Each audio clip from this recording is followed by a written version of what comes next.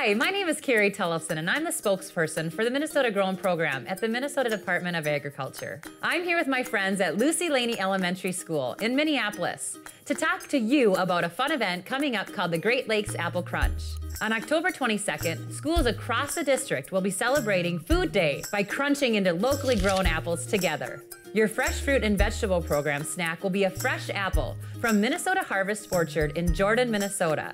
We'll join students from cities across the Great Lakes region, like Chicago, Detroit, Des Moines, and Omaha. Here's how you can make the Great Lakes Apple Crunch happen in your classroom.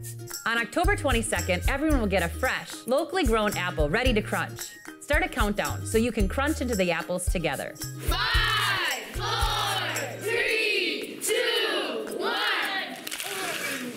This might be in your classroom, for the whole school over the loudspeaker, or in an assembly.